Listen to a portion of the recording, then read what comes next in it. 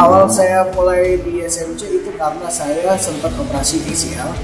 Uh, pada saat itu saya masuk di SMC satu bulan setelah saya operasi ACL dan itu uh, sangat membantu saya pada saat itu. Uh, awalnya saya sempat terlambat masuk, tapi akhirnya tertolong juga dengan teman-teman yang ada di sini.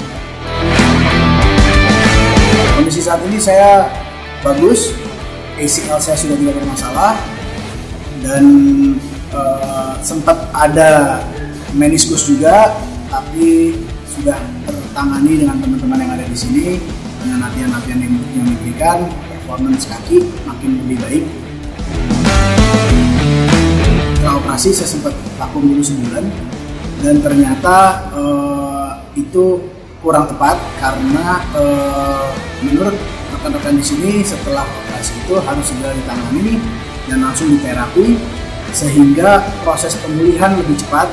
Tapi karena saya telat sebulan, jadi uh, saya banyak yang harus di catch up dan uh, terima kasih pada teman-teman yang ada di sini. Akhirnya saya bisa melaksanakan itu dan uh, semua teratasi dalam waktu yang sangat singkat.